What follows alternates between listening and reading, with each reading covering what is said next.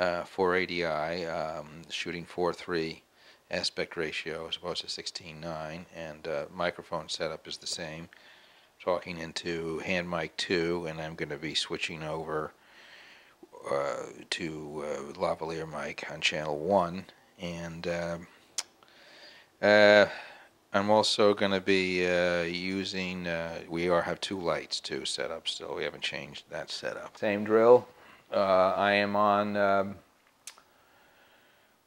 I am on uh, the lavalier mic now. Uh, we're in the uh, the aspect ratio 4:3 standard def, and we want to see how this looks. I'll go in a little closer as I did before and I don't know if I'm in focus or not, but uh, autofocus, and hopefully it will focus on me, or not. We'll find focus. Anyway, I wouldn't be shooting this tight.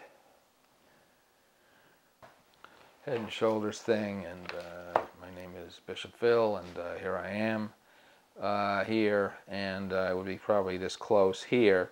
And, uh, you know, uh, this is how I would be talking in a normal tone of voice like this. And uh, my name is Phil, and uh, I'm testing all these cameras and uh, these, these camera setups. And uh, we'll see how this works. This is probably the safest, sanest way to go like this. Uh, okay?